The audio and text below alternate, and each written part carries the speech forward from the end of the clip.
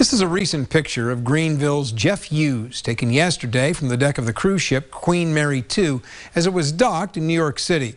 That's the skyline in the background. At the moment, Hughes' ship is off the coast of North Carolina, heading for the Caribbean, where he'll spend Christmas and New Year's.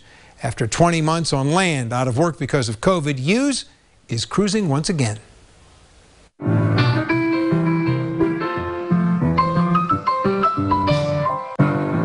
Earlier this week, Greenville's Jeff Hughes played the entertainer from the main lobby of the Queen Mary II, where he's the music director. But it, it did come back easily, uh, the music part of it.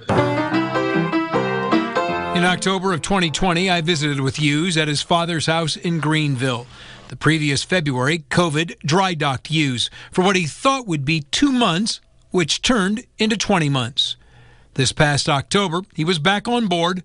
The best part of it a paycheck.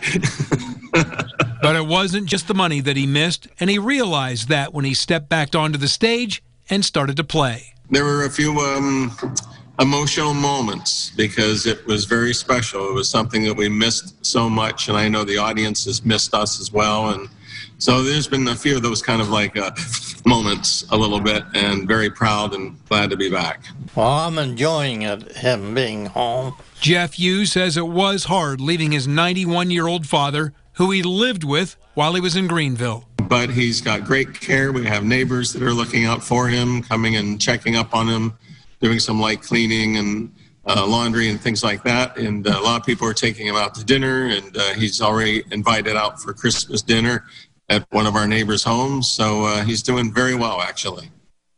One issue Hughes had when he first stepped on board was finding all the clothes that he left behind, all of his suits and tuxes. There were rows and rows of clothes hung up in a warehouse. He searched for them, found them, and says that they still fit.